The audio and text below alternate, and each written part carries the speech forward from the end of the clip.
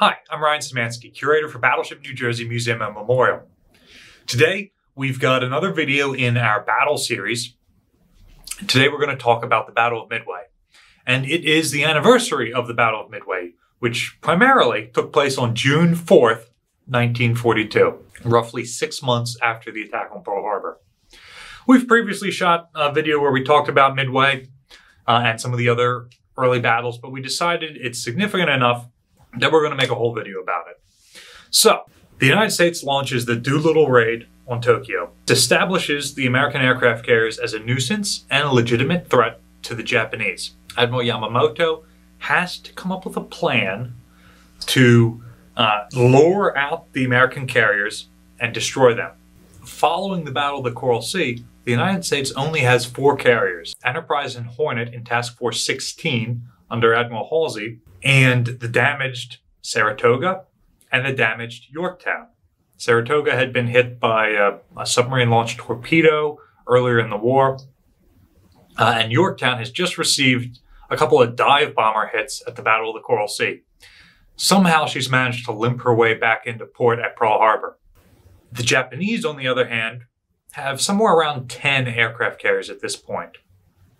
Uh, least six of them are big fleet carriers, and the rest are various medium carriers and, and light carriers, which have been converted from other types of ships. So the Japanese really hold an advantage here. Rather than press that advantage and consolidate, though, the Japanese war plans and uh, Admiral Yamamoto's plans for the Battle of Midway in particular are extremely complex and involve sending navies all over God's great earth.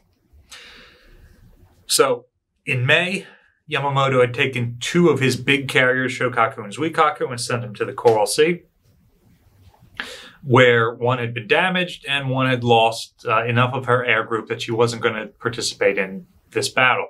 Neither one would be ready to go until July or August. Yamamoto uh, decided, yeah, we've still got enough carrier superiority, so we'll go on without him.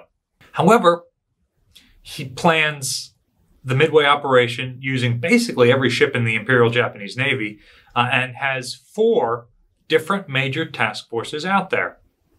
He's got his carrier task force, the Kido Butai, based around the carriers Akagi, Kaga, Soryu, and Hiryu of the 1st and 2nd Carrier Divisions, uh, and under the command of Admiral Chuichi Nagumo. Uh, they are the main attack force. They're going to neutralize Midway Atoll and then hang out in the area and wait for the American carriers to come in so that they can be ambushed. Meanwhile, he's got another force invading the Aleutian Islands to try and confuse, distract, divert the Americans. Uh, another force, which is the invasion force, uh, he, has got a carrier going up to the Aleutians too. He's got another carrier with his invasion forces, and uh, which also includes his own flagship and the battleships. And Yamamoto decides to go at sea on the battleship Yamato uh, during this battle. The problem is, when you're at sea, uh, you got to maintain radio silence so that the enemy doesn't pick up where you are. If the US starts seeing a bunch of radio signals coming from the middle of the Pacific Ocean where there aren't any islands, well, then one could assume that there might be a Japanese fleet there. Uh, and this basically removes Yamamoto from the battle. By choosing to participate in the battle, he is removing himself from command. He, he cannot pass on orders, he cannot pass on intel that he receives. Uh, and, and so he doesn't play a part in the battle, brilliant a strategist though he may be. Meanwhile, Admiral Chester Nimitz, his counterpart commanding the Pacific Fleet for the Allies, uh, remains in Pearl Harbor and is able to feed information to his on-site commanders. Another Japanese force in the area is a group of cruisers, which are going to bombard Midway. And the Japanese don't really have any shore bombardment doctrine, uh, so really using this force is kind of absurd. They don't have air cover. They're too far from the other ships uh, in the various task forces, and uh, they can't really effectively participate in the battle. They would have been much more effective providing anti-aircraft escort to his aircraft carriers, but that's not the case. As it is, the American carriers go out, uh, each with a couple of cruisers and destroyers uh, supporting them. while the Japanese go out with a much smaller force, although they do have two battleships and, and two heavy cruisers and some destroyers. When, when you divide it among the four carriers, the, the Americans bring more escorts per carrier than the Japanese. This is partly because these are the last three operational American carriers, so they are a hot commodity, whereas uh, the Japanese, these are four of 10 carriers that we've got. Maybe, maybe we don't need them. Plus, we got all these other operations going on, so we need escorts all over the place there too. So uh, that's the Japanese side of things. They're going to come in, attack Midway, uh, land on and invade Midway, and then the American carriers, which after the Battle of the Coral Sea, the Japanese assume are still to the south, will meander their way up, take the Japanese bait, uh, and get ambushed by the Japanese carriers somewhere around Midway. It's an okay plan, I guess. Uh, the Japanese are burning basically all of their fuel reserves by putting all these ships to sea, and most of them won't participate in the battle at all. Uh, but you do what you do. The American plan, on the other hand, is informed by their code breaking of the Japanese codes. The Japanese Navy is using a code called JN25, and the Allies have broken enough of it that, that they have a pretty complete picture of what the Japanese are saying. Before the battle, the Japanese are going to change their code, uh, but enough of the planning takes place with JN25 that the Americans are able to, one, know the complete order of battle of the Japanese fleet, and two, they're able to set a trap to determine where the Japanese are going. Breaking the enemy code is one thing, but it doesn't necessarily mean you can do anything with it. So, uh, for example, in addition to being in code, different locations have code names too. The various plans talk about an attack on an American base called AF. Where's AF?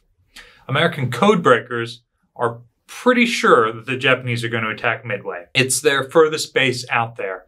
Uh, and, and so they're fairly certain the attack's going to come there already. But just to be sure, they come up with this idea of sending a message through a uh, submerged cable. So because it's going through a hard wire, it can't be intercepted. And they tell Midway Island to send a uncoded message over the open airwaves saying that their freshwater condensers are broken and they need new water. The Japanese hear this message, don't think anything of the fact that it's broadcast in the clear, and then broadcast in code uh, around the fleet that AF is low on fresh water. So this tells Nimitz, not 100%, but, but he's pretty sure now that the attack is coming on Midway, and that's where he needs to commit his forces to ambush the Japanese. Not everyone agrees with him. Some people think that, hey, maybe this is just a little too convenient that they fell for our trap. Uh, and, and, some people are, are legitimately scared that the west coast of the United States is the biggest threat. What if the Japanese are going to attack there? So Nimitz makes a uh, compromise. He leaves Task Force One, which are the seven Pacific Fleet battleships on the West Coast.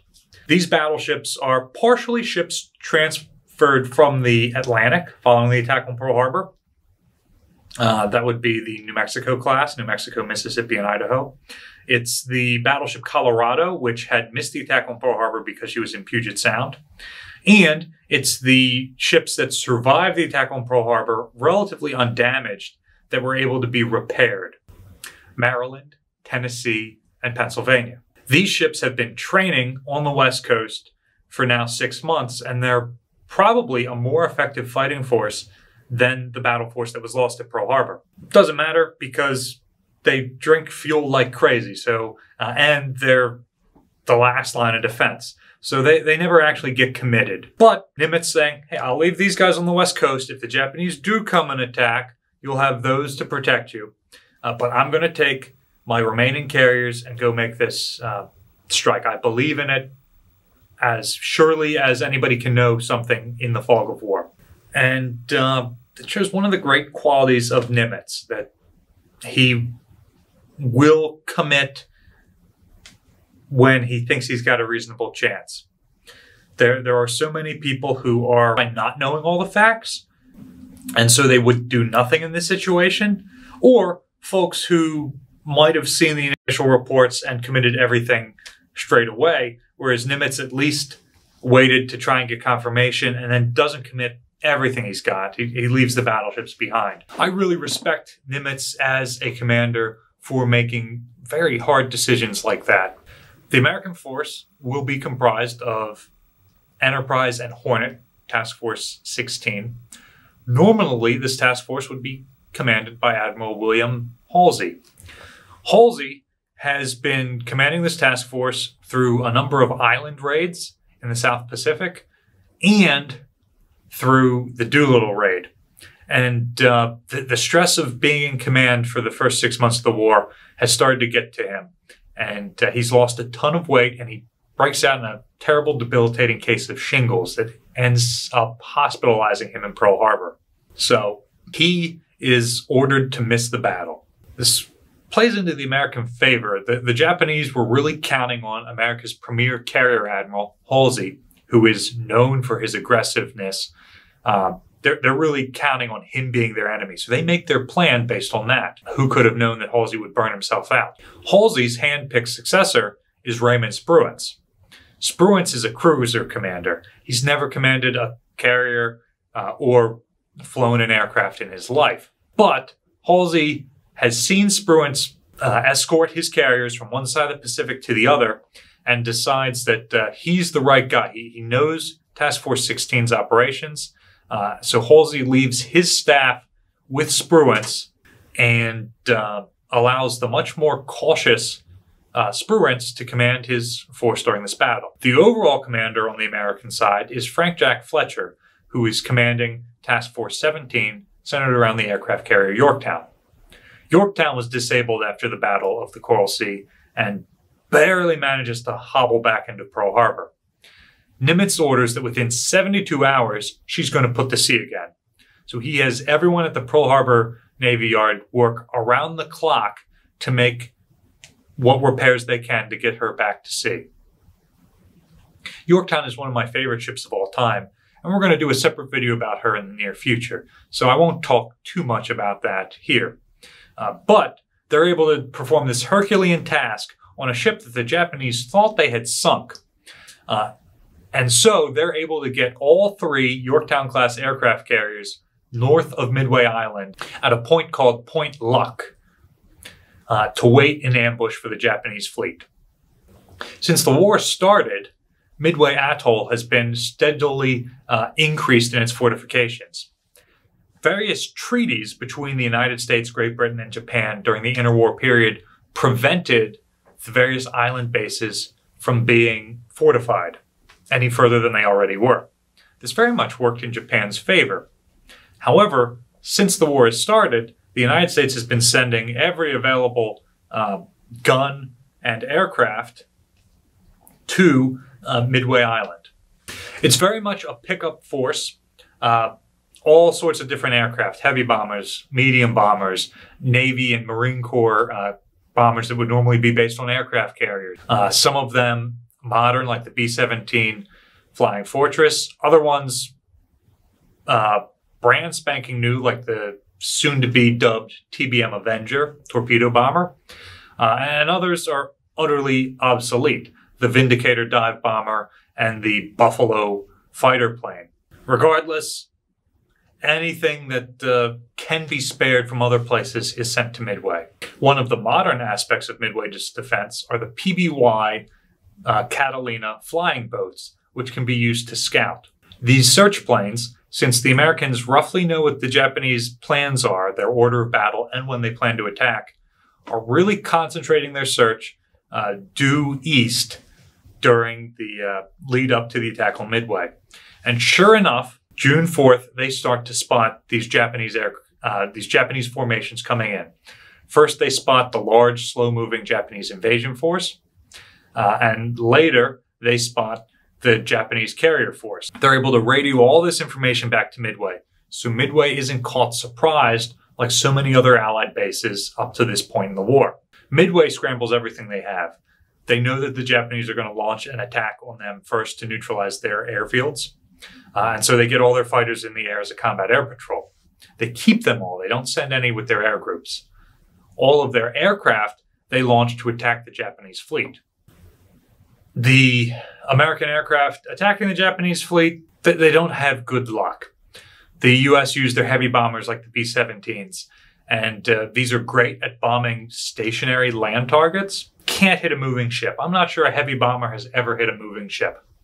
Uh, even with the carpet bombing that, that they do, they score no hits. Then some of the medium bombers retrofitted as torpedo bombers uh, and the brand new Avenger torpedo bombers go in to launch torpedo attacks. Well, the, these low, slow flying aircraft are easily chewed up by the Japanese fighter cover. Uh, successive waves of dive bombers and other aircraft from Midway also go against the Japanese carriers, uh, and they're hitting pretty much like clockwork every 10 minutes throughout the morning. And uh, every single time, the Japanese are able to intercept them and shoot them down. Meanwhile, at Midway, more than half of the Japanese carrier fleet's aircraft are attacking. The other half has been kept in reserve for a possible second strike, like was launched on Pearl Harbor, or in case American surface ships are detected. The uh, Japanese have also put out search aircraft. They tend to use uh, their cruiser float planes, and they have two excellent uh, scout cruisers in the form of Tone and Chikuma, uh, which have all their guns concentrated forward and have these uh, aircraft handling facilities on the fantail. So they're putting out scouting aircraft in all directions, um, at least to their uh, to their east, uh, so that they can uh, see if there's any American surface ships guarding Midway. The first Japanese strike wave hits Midway, and they're able to plow through the American fighter cover. Again, they're, they're old and obsolete aircraft by and large. Uh, even the up-to-date Wildcat fighters are still outmatched by the Japanese Zeros. They're able to press the attack. There's a tremendous amount of American air, anti-aircraft defense, uh, and it turns out really difficult to uh, destroy a land-based airfield. Pretty easy to sink an aircraft carrier, but when your aircraft carrier is a chunk of coral rock in the Pacific, much more difficult to sink or disable it. And Midway is actually uh, two airfields there's one on Sand Island, and one on Eastern Island. Uh, so the Japanese are unable to render the airfields inoperable. So they radio back that uh, a second strike at minimum is going to be needed before an amphibious invasion. So the Japanese start to arm their aircraft with high explosive bombs that will explode on impact uh, for their dive bombers. And for their torpedo bombers, they load bombs instead of torpedoes for attacking land sites. Then the Japanese scout planes start to see American ships. Uh, some of their scout planes have radio problems, uh, and the, the ones that see American carriers, the, their radio messages don't go through, just pure luck or misfortune, as uh, depending on which side you're on. The uh, other ones see the American force but don't see carriers right away. So Nagumo is stuck with a really tough decision. He's got to decide if he's going to attack American ships and arm his aircraft accordingly, or if he's going to launch this follow up attack for the invasion forces. Uh, and he's trying to decide, he's trying to get more information. Meanwhile, Yamamoto might have some information that could help him, but again, he can't radio it. His, uh, he knows that the uh, planned submarine scouting uh, group that would spot the American carriers on approach isn't in position yet. He also knows that the planned float plane sortie that was going to launch from French frigate Shoals to uh, spy on Pearl Harbor and see if there are any uh, American carriers in port also got chased away because the Japanese had done that operation uh, months earlier as well. So the Americans established a presence at French frigate shoals. And so when the Japanese come back to do it a second time, uh, they're driven off before they ever get anywhere near Hawaii. So Yamamoto knows that they have not, in fact, scouted for the American carriers. They don't know where they are. Uh, if Nagumo had this information, he might have been able to make a decision.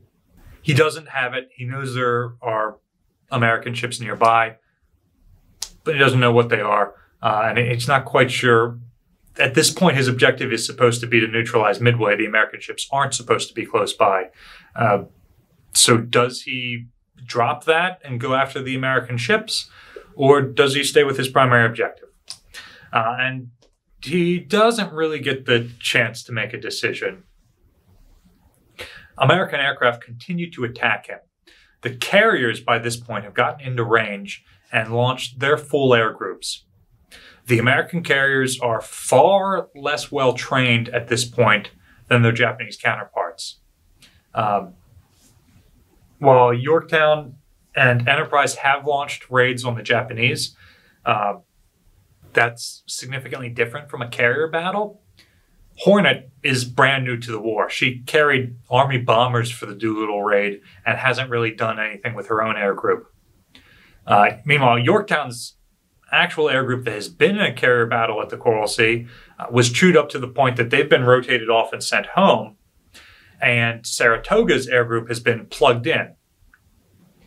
It's a huge doctrinal difference between the US and the Japanese. The US, the air group, and the carrier are two separate things. So you can take any air group and plug it in on any carrier.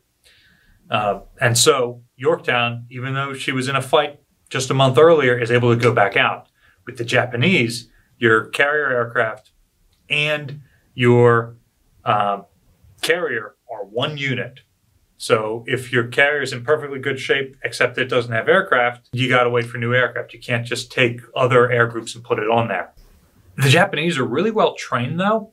And during the Battle of Midway, uh, some Japanese pilots not uh, with the Japanese air groups, carrier air groups, were embarked for operations uh, to, to take over Midway Island and, and for other things.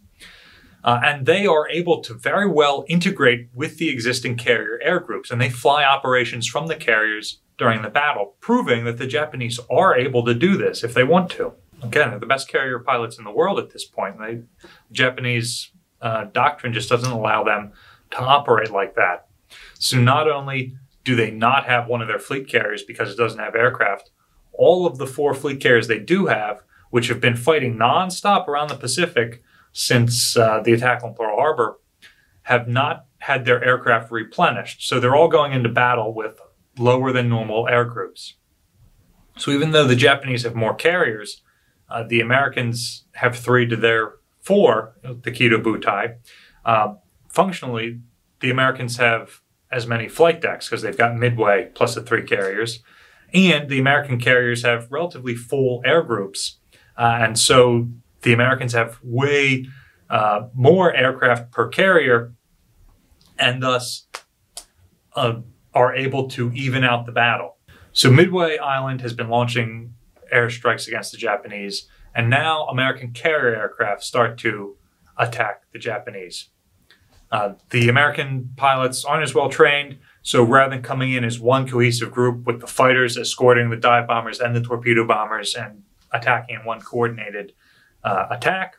That's not what happens. Uh, by a fluke, all of the three squadrons of American torpedo bombers find the Japanese fleet first. And they, they come about this in a number of different ways. Uh, but they are able to find the Japanese fleet, and the other uh, parts of the air group are still having issues. So, wave after wave of torpedo bomber comes in at the Japanese carriers, and the Japanese Zero fighters chew them up. They've got to come in low and slow to launch their torpedoes, and so they're sitting ducks for the uh, fighters and anti-aircraft fire. As it turns out, the uh, Japanese Zeros, like we talked about last episode, uh, the Japanese air defense network that they form around their carriers is not particularly sophisticated, and once you've engaged it, it's very hard for it to reposition. So the Japanese Combat Air Patrol goes lower and lower and lower, fighting wave after wave of torpedo bombers, and ends up uh, completely out of position. The Americans had a ring of picket submarines around Midway to search for the Japanese. One of those submarines, I believe Nautilus, uh, spots Japanese carrier and fires a torpedo. One of the torpedoes even manages to hit I want to say Akagi, uh, but fails to detonate. Americans have all sorts of torpedo issues at this point in the war. However, when this happens, there's a trail of bubbles leading back from the torpedo launch to the submarine. So a Japanese destroyer goes down and uh, starts dropping depth charges on the American submarine. Uh, and it has to stay there and suppress that submarine until the carriers have moved out of the area.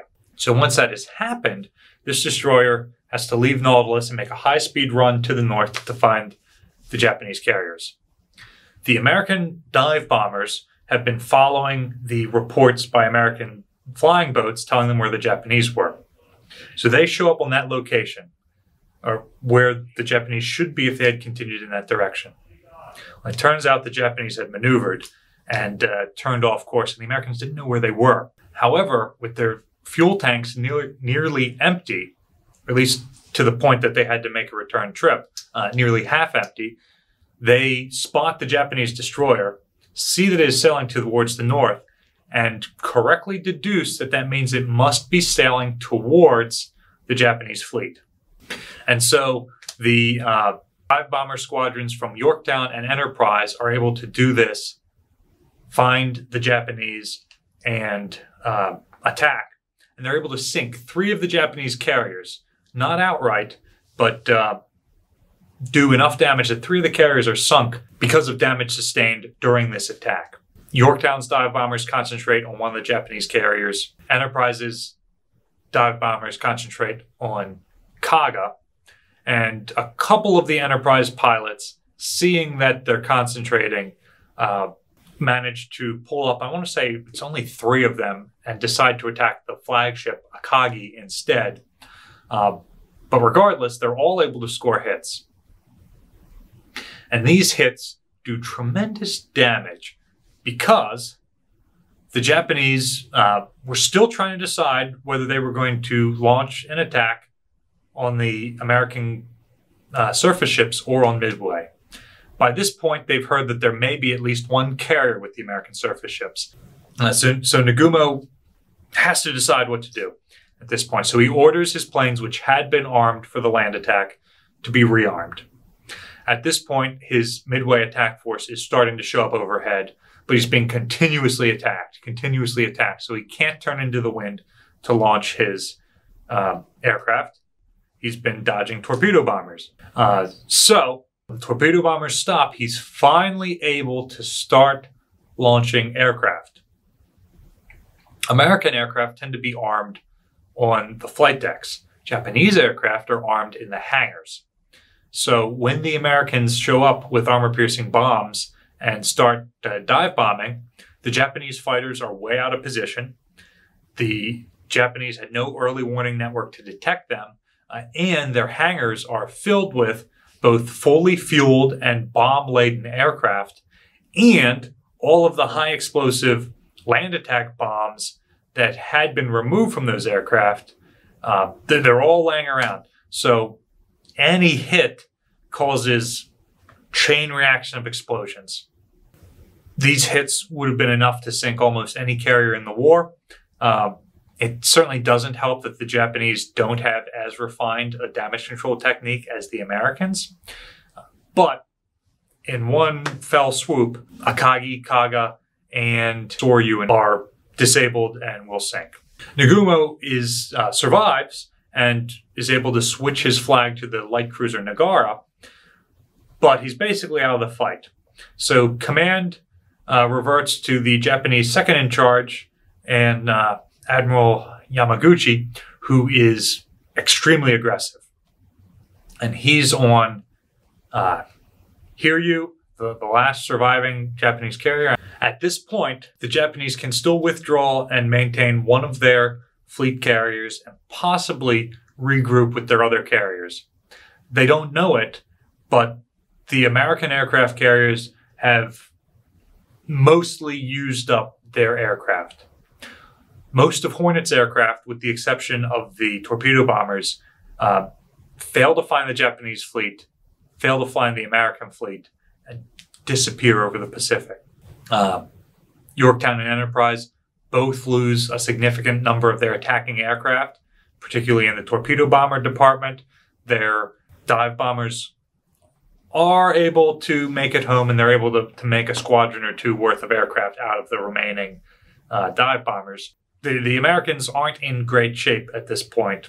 Uh, the Japanese could withdraw now, combine some of their other carriers, and still press the attack. Yamaguchi's uh, aggressive, though, and he chooses not to. Uh, he believes that the Americans only have one carrier, despite the number of aircraft he's seen attacking. He assumes most of them are coming from Midway. And most of them have been shot down, so they're not going to come from Midway again. Uh, so he launches an air attack. Uh, whatever he has on hand on his own ship, loaded with whatever ordnance they have at the time, towards the last known position. His uh, pilots are extremely well trained, so they're able to find Yorktown and uh, they're able to launch a pincer attack and uh, do damage to Yorktown. When they leave her, she's on fire uh, and she's slowed to a stop. Her boilers uh, have had their fires blown out. So they assume that they have sunk that American carrier, or at least disabled it out of the battle. They return to Hiryu. Uh, a new group is loaded up and refueled and sent out in case there's another American carrier. Meanwhile, Yorktown and Enterprise have launched another attack against uh, Hiryu, and uh, their dive bombers are able to find Hiryu and sink her. Hiryu's aircraft are able to find Yorktown again. Yorktown's damage control at this point is Herculean. Uh, they have not only repaired the flight deck so they can continue to operate, but they have gotten their boilers running so that they're moving at high speed. So the Japanese see another Yorktown class aircraft carrier, seemingly undamaged, attack it are able to score bomb and torpedo hits, again disabling the ship. So they at this point think they have sunk all three Yorktown class aircraft carriers, one at the Coral Sea and two at Midway. Uh, in fact, they've attacked the same carrier three times, and they still haven't sunk her.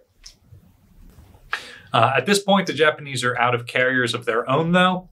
Uh, so Admiral Yamamoto finally breaks radio silence and orders the attack called off. Uh, his ships start to return for home. The battle isn't quite over yet.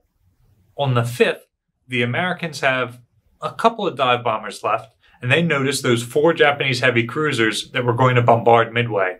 Uh, and they're basically unescorted. They've got no air support. So they decide to launch some dive bombers on them. Uh, and two of these four cruisers, while they're maneuvering at night, run into each other. Uh, Mogami is a very unlucky ship, and she rams one of her sister ships. And uh, so two of these cruisers are not able to keep up with the other two, and the American dive bombers catch them, and they're able to damage the unlucky Mogami and sink the other uh, Mogami class cruiser, which whose name escapes me right now. I'm, I'm, sure you guys can tell me in the comments section. Uh, anyway, uh, that's pretty much the end of the battle. At this point, Spruance has taken command because Fletcher's flagship is knocked out, and uh, decided we've done enough for one day. We've got no aircraft left. Basically, let's retreat. Uh, the Japanese have retreated from Midway, so the battle is a tactical and strategic victory for the United States.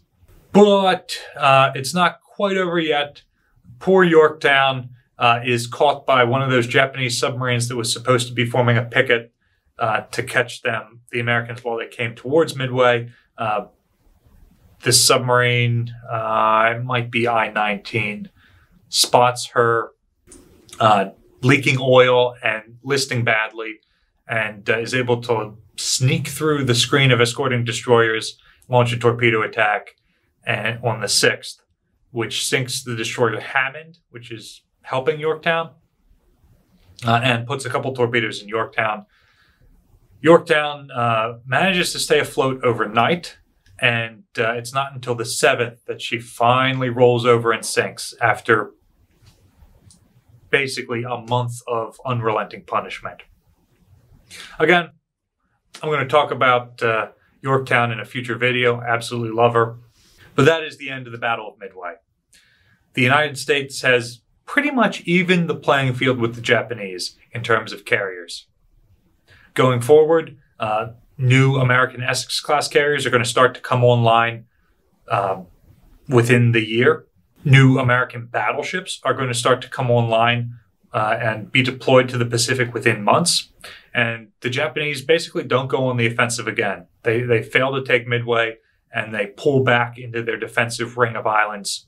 And so the Americans are able to go on the offensive and they start to attack at Guadalcanal. And uh, from there, it's just unrelenting Allied amphibious invasions on multiple fronts, uh, slowly chipping their way through the various Japanese rings of defenses. Midway proves that Coral Sea wasn't a fluke. Carriers are capital ships in their own right, and they can win battles and fight battles without surface ships ever getting involved. It also provides further evidence that uh, carriers are heavyweight hitters, but they've got a glass jaw. If they take a hit of their own, they tend to be disabled. Having now watched our videos on the Coral Sea and Midway, which of the two do you think is more historically significant? Let us know in the comment section down below. Midway tends to get a lot of the credit, but uh, it's not actually the first of anything. And uh, there's a fair amount of luck involved. So, which of those two battles is actually more critical to the war? Battleship New Jersey receives operating support from the New Jersey Department of State uh, and also from a number of businesses and private individuals. In particular, viewers like you have allowed this channel to grow over the last year. We really appreciate your donations. We're making multiple pieces of content per uh, week. So remember to like, share, and subscribe so that you're notified when that goes out. And if you'd like to support us even more than that, there's a link in the description for a way you can donate. Thanks for watching.